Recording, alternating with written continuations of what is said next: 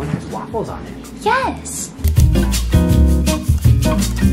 Hi guys, welcome back to another video and welcome back to another TBR video. It has been a little bit since I think I did my last TBR video. I think the last time I did one was maybe for February and it was like a generator picks. I ended up wrapping all of my TBR books in this brown wrapping paper and randomly allowing the number generator to pick what I read for that month. Well, for this month, I actually decided to do something different.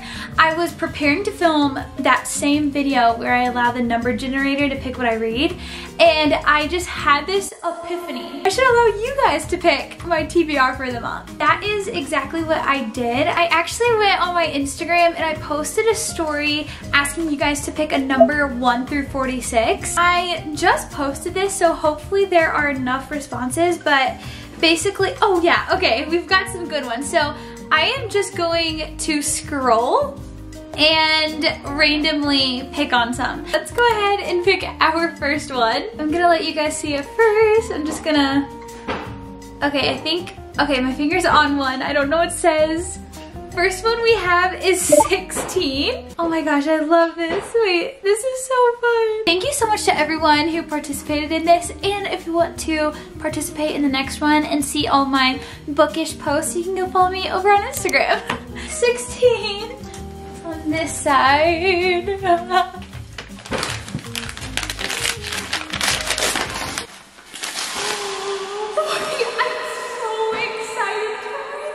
This is called When Fate Breaks. So this was sent to me by one of you guys actually pretty much most of these were sent to me by you guys. This author is also, I believe, a booktuber as well, which is so cool. So if you guys want to go support, her name is Nikki Witt. The book is called When Fate Breaks. Look how cool this cover is too. This is a romance book and it's basically about the main character, her and her fiance move into her dream house together. And I believe she's planning her wedding. The only problem, or I guess issue, if you will, going on with the house is there's a greenhouse in the backyard and it's a dilapidated greenhouse. And I think she somehow finds a memento from the past and I don't know if it's through the greenhouse or what, but she ends up giving, I think her childhood friend a call and his name is Blake. It starts bringing some things up from the past. I think it says he ends up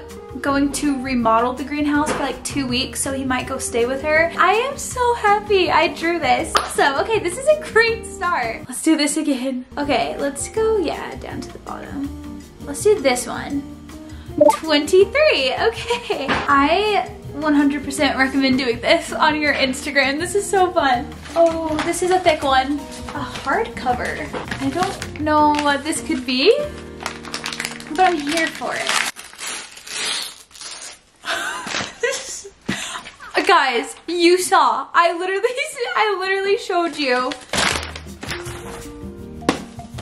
This, I drew the serpent and the wings of night. This is my Discord's book of the month. So I couldn't have planned that any better. That is crazy. And I'm actually really glad I unwrapped this because I had no idea what number it was. That's really good. Although I do have a key just in case I ever do need to unwrap one of these. But that is so cool. This is so fun. So this one was actually really popular last year. It like blew up. And so there are vampires in this world and then humans as well. And I know the main character is a human and she ends up competing in this competition. That's basically like a Hunger Games situation. And it sounds like there's a lot of scheming. I don't know, it sounds really good. Wait, this is the cover? Oh my gosh. That is amazing. You never know what lies underneath the sleeve. Let's do it again. Oh, 23. Did I just do 23? I did. 32. Okay. Let's see what is in 32.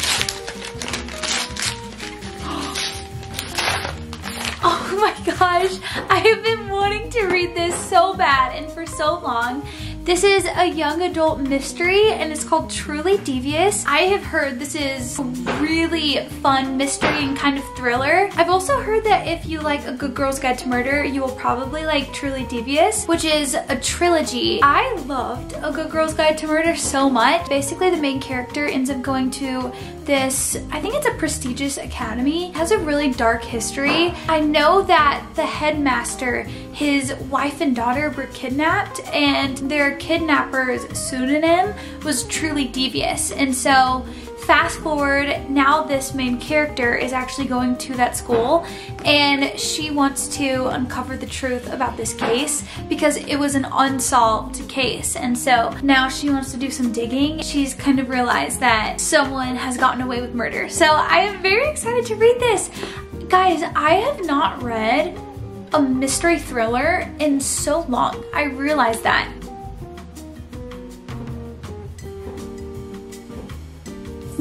13. Did we already do 13? Why can't I remember? No, we did not. This is thin. What the heck? Ooh.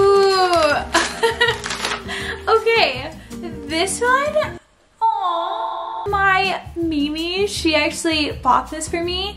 She's so sweet. Um, it's called Hunt on Dark Waters.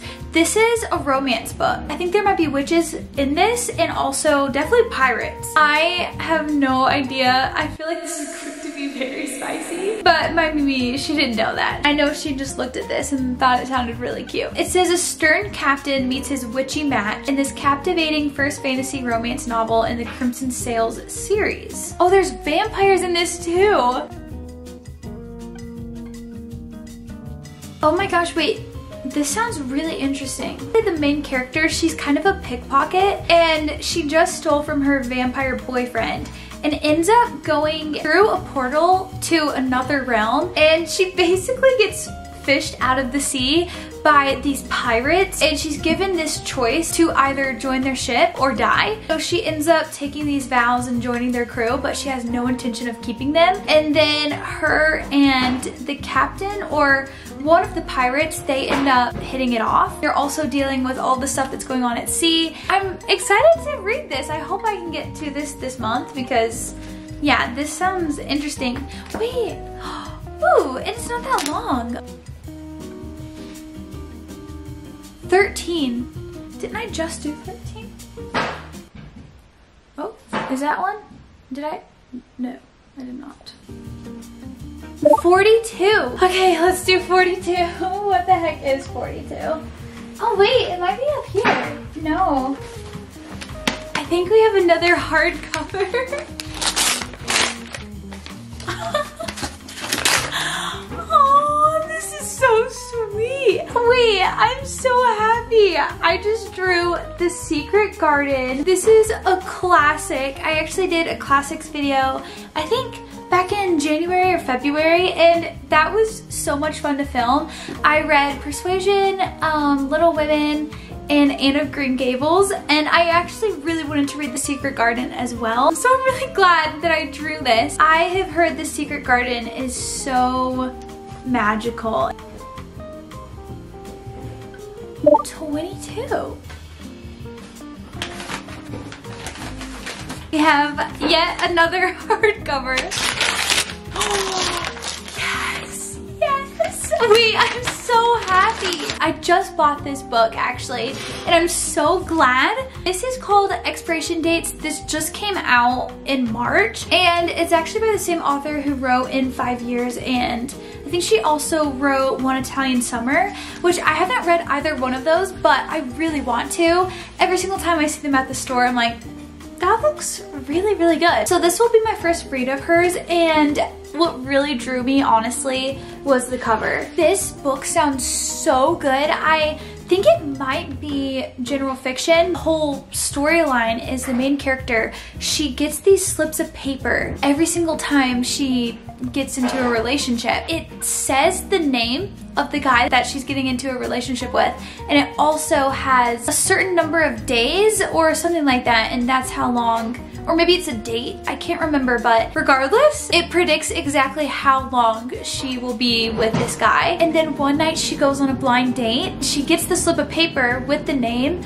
but there's no date underneath it. And so she's like, is this the one? And then their whole story just unfolds and it sounds so good. This might be one of my favorite stacks ever. You guys choose really good books. I'm so sorry for the noise in the background. That would be my air fryer. I'm so sorry. For the last number, I think I might just choose a random one and see what we get.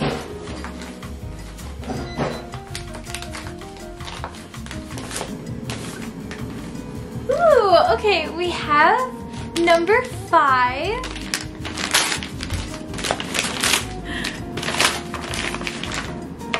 What is this? Oh, oh my gosh.